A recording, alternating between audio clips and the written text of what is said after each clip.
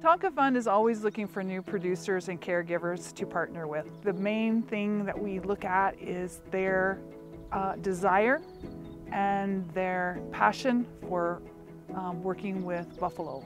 Some of our projects have been raising buffalo for 30 plus years and still struggling to get by. They don't do it for the finances. They do it for the passion that they have for the land. You must be a native uh, or tribally enrolled land is a huge issue in, in Indian country. It takes anywhere from 20 to 40 acres to sustain one animal, a thousand pound animal, for a year. So when you're talking about, you know, 10 buffalo, 50 buffalo, multiply that by 20, 30, 40 acres, and you're talking large landscapes. What resources do you have at hand?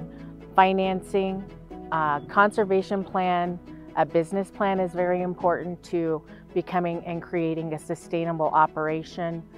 Looking at those pieces alone will help us advance forward in this process to see if it's a good fit for Tanka Fund and you as a partner with us. All the projects that we work with, they're all very conservation minded. The soils, the grasses, the trees are all very conscious not only about the health of the land, but the health of the animals, making sure that they have adequate food and water. Sometimes it's tricky, particularly when we are in drought situations. So we try to help them with that piece as well, is to make sure that uh, emergency funding is available if there's any kind of disaster. What are your conservation goals?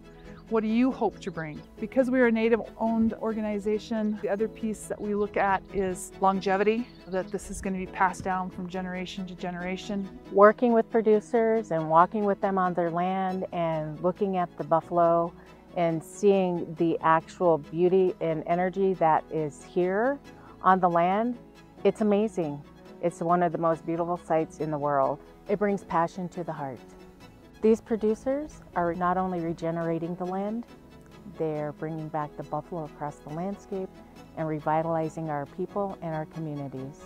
We're really digging into what they need to be successful um, at raising buffalo.